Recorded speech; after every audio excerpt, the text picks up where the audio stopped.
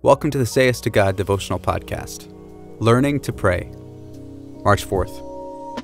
Now, Jesus was praying in a certain place, and when he finished, one of his disciples said to him, Lord, teach us to pray, as John taught his disciples.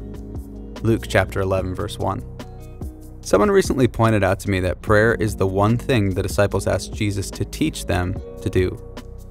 We can't really be sure why they didn't ask to be taught other things, but we have a record of them making this request, so it does merit our attention. There was something about his prayer life that made the disciples want Jesus to give them some extra training. Observing his prayer life made them want to become men of prayer themselves. Think of what this group of disciples had seen and heard as they had traveled with Jesus. The wisdom they'd heard was unmatched, the miracles they'd witnessed were indescribable.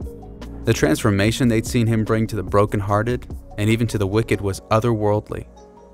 But this is what they asked of him Lord, teach us to pray. So here's your next yes to God.